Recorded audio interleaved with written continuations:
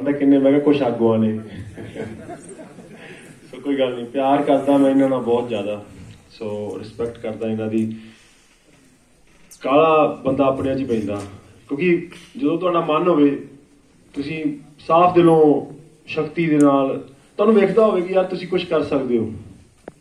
ਪੰਜਾਬ ਲਈ ਤੁਸੀਂ ਕੁਝ ਕਰ ਸਕਦੇ ਹੋ। ਉਹ ਚੀਜ਼ਾਂ ਜਿਹੜੀਆਂ ਆਪਾਂ ਟੀਵੀ ਦੇ ਅੱਗੇ ਵੇਖਦੇ ਸਾਂ ਕਿ ਐ ਕਿਉਂ ਨਹੀਂ ਹੁੰਦਾ, ਆਹ ਕਿਉਂ ਨਹੀਂ ਹੁੰਦਾ, ਉਹ ਕਿਉਂ ਜਦੋਂ ਤੁਹਾਡਾ